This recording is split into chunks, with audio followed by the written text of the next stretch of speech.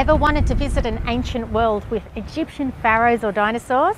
Well, at King Tut's Putt Putt on the Gold Coast, that's exactly what you'll play with. So let's go have some fun.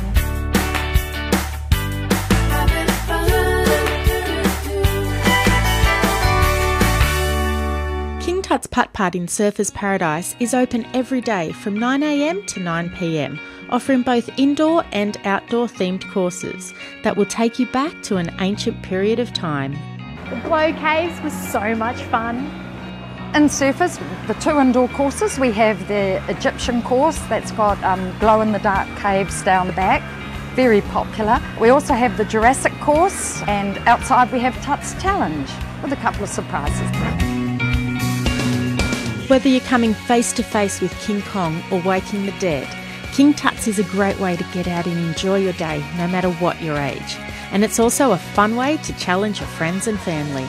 And King Tut's Putt Putt is also at Carrara Markets. And they're open seven days a week here, so you can come and enjoy it any day you want. The outdoor course is mainly set around Angkor Wat, which is, you know, the Cambodian feel. The indoor course, we've split up into three lots of six holes. First a lot of six holes is all set around the uh, pirate theme. And then we go on to uh, Jurassic, so we've got animatronic dinosaurs uh, in the Jurassic area, and then we go on to medieval. Having indoor and outdoor courses, you can play any day, no matter what the weather is like. Anyway, for me, I think I need a little more practice before I can mix it with the pros.